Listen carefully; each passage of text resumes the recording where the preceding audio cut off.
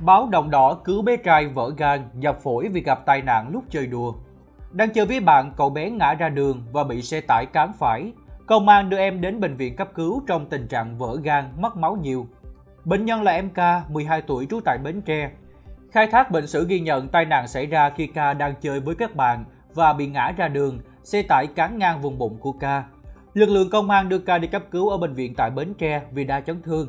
Sau khi các bác sĩ tiến hành sơ cứu, ca tiếp tục được chuyển lên thành phố Hồ Chí Minh.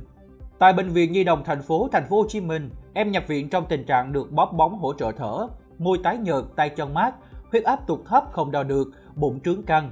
Bác sĩ chẩn đoán ca bị sót mất máu đa chấn thương do tai nạn giao thông, chấn thương gan độ 5 và phổi hai bên. Ekip khoa cấp cứu đã khẩn trương thiết lập đường truyền trung tâm, bồi hoàn máu liên tục. Quy trình báo động đỏ được kích hoạt, huy động các chuyên khoa ngoài tổng hợp, lòng ngực, mạch máu và phẫu thuật ngay trong đêm.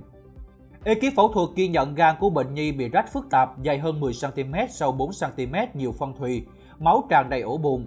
Toàn bộ ruột trái phụ nề do thiếu máu nuôi. Quá trình phẫu thuật kéo dài hơn 4 giờ phải liên tục khâu ép gan tăng cường. Đồng thời, bệnh nhân được bồi hoàn gần 4 lít máu và rất nhiều chế phẩm máu để giữ huyết áp cũng như sau cuộc mổ. 18 túi hồng cầu lắng đã được sử dụng. Đến nay, sau 5 ngày điều trị hồi sức tích cực, ca đã dần tỉnh tạm qua cơn nguy kịch, cải thiện đa số các chức năng tạng bị ảnh hưởng da niêm mạc hồng bụng mềm. Trẻ mất khoảng 3 lít máu từ khi xảy ra tai nạn đến khi kết thúc ca mổ khẩn. Hãy đăng ký kênh Alo Bác sĩ Video để nhận thêm nhiều thông tin mới nhất về y tế, sức khỏe.